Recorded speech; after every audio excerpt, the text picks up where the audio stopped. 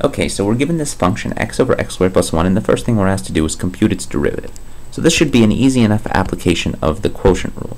Derivative of the top is just 1, times the bottom, x squared plus 1, minus derivative of the bottom looks like 2x, times the top is just x, all over the bottom squared, x squared plus 1, quantity squared.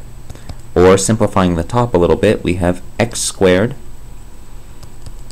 plus 1 minus 2x squared over this ugly quantity x squared plus 1 quantity squared, which can be simplified further, this x squared minus 2 that's just negative x squared plus 1 over x squared plus 1 squared. And notice this doesn't cancel. This is a 1 minus x squared, this is a 1 plus x squared term down here. These are not the same thing, so they don't cancel any further. But that's the derivative, and that would get you 5 points right away if you came up with that. Now we're asked, okay, I want g to be the derivative of some function. So notice that then g prime, that we just bothered to compute, would be the double derivative of the function. Double derivative right there. So the challenge is, can we graph f if its derivative is given by this and its double derivative is given by that? And hopefully, if you had done problem 3, it would have already whet your appetite. We're looking for the following things. Where is f prime 0? Where is f prime uh, negative? That's where the function f would be decreasing. Where is f prime positive? That's where it would be increasing. Where is f double prime positive and where is f double prime negative? That would communicate something about the concavity of f. So we want to first start by figuring these things out.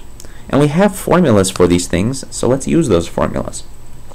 You'll notice that g of x, if we just ask when is this equal to 0, we'd be looking at the equation x over x squared plus 1 equals 0. Well, of course, the denominator can never be 0, and in any case, that wouldn't mean that the thing was 0. It would mean it's undefined. So this only happens when x equals 0.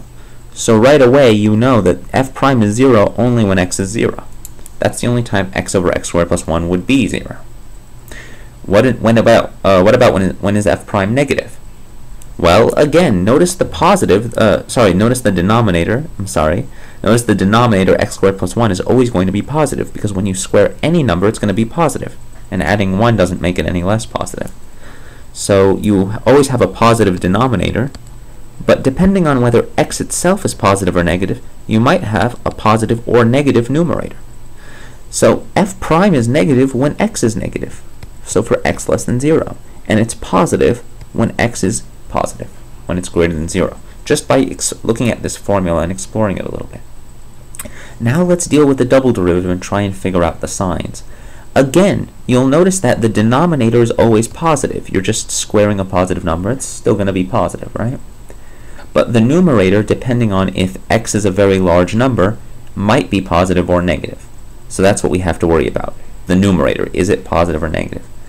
So the double derivative will be positive if negative x squared plus 1 is positive, because then you would have a positive numerator and a positive denominator. But that would happen, adding x squared to both sides, when x squared is less than 1. And similarly, if you just reverse inequalities, so that's when f double prime is positive. When is f double prime negative? Well, it would just be when x squared is bigger than 1, because then negative x squared plus 1 would be negative, and you'd have a negative numerator, but a positive denominator. Alright, so when do these things happen? Well, let's draw a very quick sketch of what this graph actually looks like. What is the graph of x squared, you know, look like? Well, it looks like a parabola, and at the point 1, and at the point negative 1, it hits the point 1, right? x 1 squared is 1, so is negative 1 squared. So the graph of the parabola would look something like that. And you'll notice that it's going to be less than 1. x squared is the y, the y coordinate for any given x coordinate. It's going to be less than 1 precisely when we're between negative 1 and 1.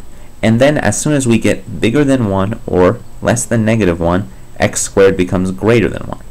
So this happens when x is between negative 1 and 1. And this happens when x is less than negative 1, or it's bigger than positive 1. Alright. Alright, so let's keep track of that. So the derivative is positive, between negative 1 and 1, sorry, x is between negative 1 and 1, and it's negative when either x is less than negative 1 or x is positive, uh, is, is bigger than positive 1. Alright, we now have enough information to draw the graph of f. So let's let's do that. Okay. So the first thing we're going to do is we're going to go figure out where the points of flatness are. Well, there's only one, x equals 0. That's where the, the derivative is going to be 0, which means the graph of f is going to be a little bit flat there. So that's going to happen right here on the x-axis. Alright, we also have some interesting shifts, so I'll switch over to green here. We have some interesting shifts that are occurring at negative 1 and 1, so I'll mark those points out too. Say there's negative 1, and there's 1. So we, we've divided this thing into four separate subintervals. And we're going to color code it, and I'll try and remember the color scheme I had in the previous video. When f prime is positive and f double prime is positive, then I will uh, denote that with blue, and this means that f is increasing and it's concave up, so the graph should look something like that. Then I believe and I'll go over to gray here, I believe when f prime is positive and f double prime is now negative, so it's concave down but it's still increasing, then it should look like that. I think that's gray. Then in black, I have the situation where f prime is negative, but f double prime was positive, concave up but decreasing. So that would look something like that. And then finally, I think I had to switch all the way to orange and I said when f prime is negative and f double prime is negative, you're concave down and decreasing, you would look like that. Okay, so let's go through and try and figure each of these subintervals out. So for x less than negative 1, f double prime is negative, and f prime is also negative.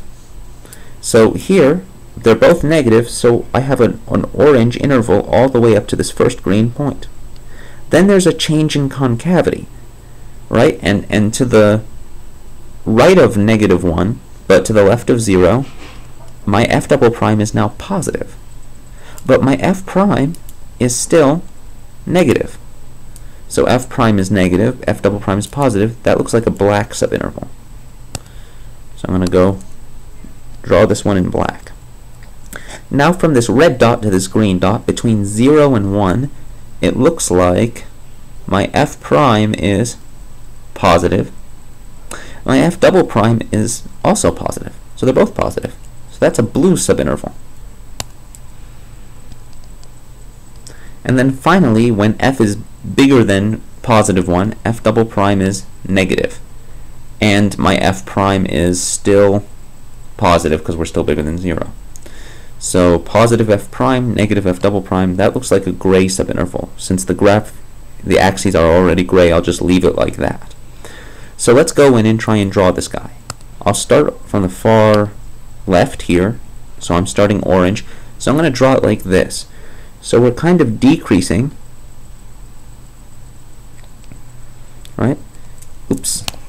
I'm only decreasing up to where I encountered this first green point. So it looks like this. Now here I experience a change in concavity. I move over to black. That's going to mean that I'm still decreasing, but now the concavity is concave up instead of concave down. So I want to draw a change in concavity. Then I have a point of flatness here at this red point uh, at this at x equals 0, right? I have a point of flatness. And then I move over to blue, which is still concave up, but now it's increasing. So you'll notice this means I have a minimum point there. Then I have another shift in concavity, and I switch over to a gray region, which looks like this. So that's starting to be concave down now. So that's more or less what the graph should look like. Of course, uh, we don't know if we've got the right values, but we've got the more or less the, the right feel of the curve it could be shifted up or down by some value. So that we, we since we don't know what its actual value is at any point, we can't be more specific than this. But that's more or less how it should look.